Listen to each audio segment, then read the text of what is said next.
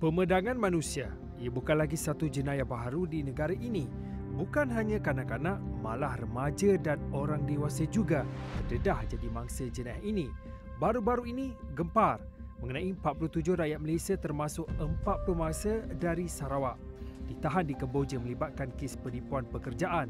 Lebih malang mereka tertipu dengan tawaran palsu menerusi aplikasi WeChat dan Facebook yang kebenarannya begitu diragui. Sejak minggu lalu, beberapa individu dari Sarawak mula diheret ke mahkamah bagi membantu siasatan dari sudut penipuan komersial dan difahamkan Jabatan Siasatan Jenayah Sarawak juga sedang meneliti untuk melakukan tangkapan berkait dengan kesalahan pemandangan manusia. Ketua Siasatan Jenayah Sarawak Senior Assistant Commissioner Dennis Leong mengakui perkara ini sambil berkata pihaknya masih lagi mengumpul fakta dan maklumat berkaitan. On our side, the CID, we have opened uh, some investigation.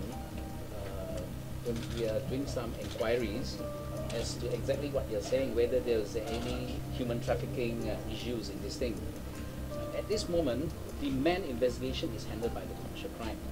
I think I can only say that we are still compiling. Dedahnya terdapat beberapa individu dalam kalangan mangsa yang pernah bekerja di negara itu sebelum ini dan beliau tidak menolak mereka sedang diperhatikan. Sehubungan itu, Seksyen 2 Akta Anti Pemerdagangan Orang 2007 ada mendefinisikan pemerdagangan manusia ialah sebagai perekrutan, pengangkutan, pemindahan, perlindungan, penyediaan atau penerimaan seseorang bagi maksud eksploitasi. Ia merupakan aktiviti pemerdagangan dan perniagaan yang melibatkan pergerakan atau migrasi manusia secara haram sama ada untuk menjadi buruh yang sah atau buruh paksa. Yang pasti kes ini tidak akan mati begitu saja untuk mengelakkan jenayah yang sama berulang.